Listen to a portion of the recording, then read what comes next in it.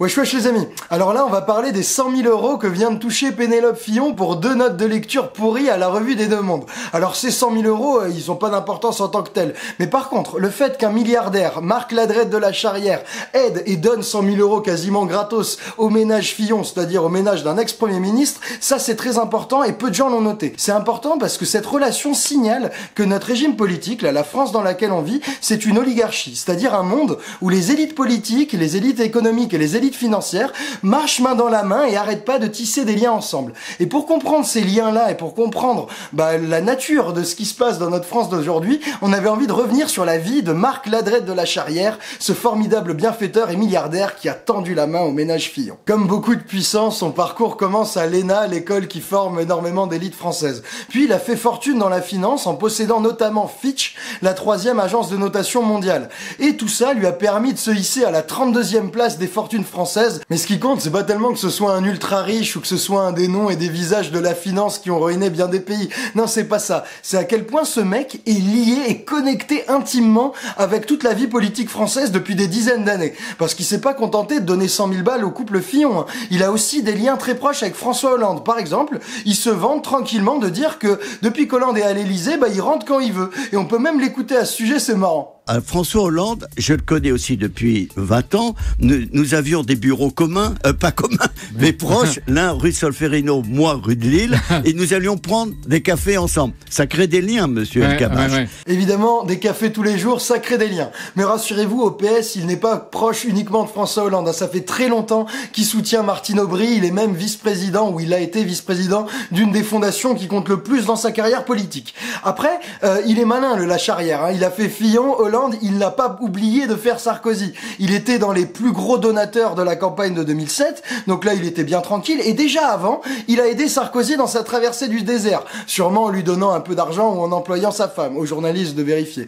Après, il était déjà là avant Sarkozy. Hein. Il était aussi dans le comité de soutien de Chirac et était très proche de Philippe Seguin, un ancien du RPR, qu'il avait connu à l'ENA. Donc on voit que dès le début, il est proche des trois anciens présidents de la République et il a suivi de très près, à la fois le RPR, UMP, euh, les Républicains, on sait pas trop, ça change de nom, mais c'est les mêmes, et du Parti Socialiste, que ce soit d'un côté des primaires de 2011, c'est-à-dire Hollande, ou Aubry.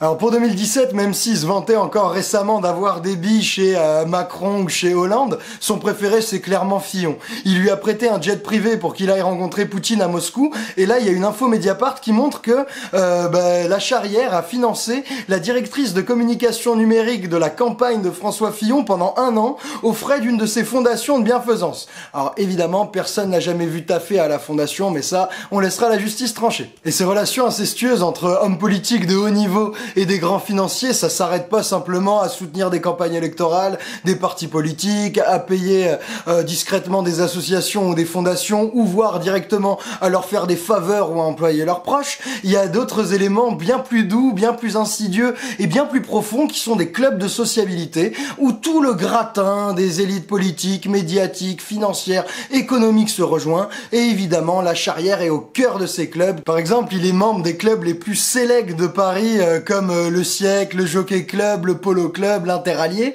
Et il est même membre du club Bilderberg, qui est un espèce de club des clubs mondiaux qui réunit euh, les ministres des Finances, les premiers ministres, les plus grands PDG de tous les pays industrialisés. Et de ce club Bilderberg, il a même été à un moment au comité de direction. Et devinez qui dirige le club Bilderberg actuellement? Henri de Castries, l'un des plus grands soutiens de François Fillon et ancien PDG d'AXA. C'est marrant comme ce monde est petit. Non mais plus sérieusement, quand on regarde la vie de la charrière, on comprend mieux ce qu'est l'oligarchie. On comprend mieux euh, comment on peut être proche à la fois des gens de l'UMP et du PS. On comprend peut-être mieux aussi pourquoi le changement c'est jamais maintenant et que la finance n'est pas sérieusement régulée. Alors derrière les 100 000 balles euh, de Madame Fillon pour deux notes de lecture, il y a la charrière qui nous donne une sérieuse leçon politique. Elle concerne comment juger un candidat. Parce qu'en 2017, ils vont nous promettre plein de trucs, ils vont parler, parler, parler, mais il va falloir mettre ces paroles en regard de quelque chose. Faut les mettre d'abord au regard euh, bah, des bilans des candidats, regarder ce qu'ils ont vraiment fait, mais il y a le théorème la charrière. Le théorème la charrière, c'est comparer les promesses avec les amis des candidats, leur soutien, ceux qui financent leur campagne, ceux qui ont construit leur carrière, ceux qui ont parfois financé leurs associations ou leurs fondations, et en fait, en gros, savoir avec qui ils vont boire des cafés. Parce que, euh, comme disait ma grand-mère, on en apprend beaucoup sur les gens quand on connaît leurs copains.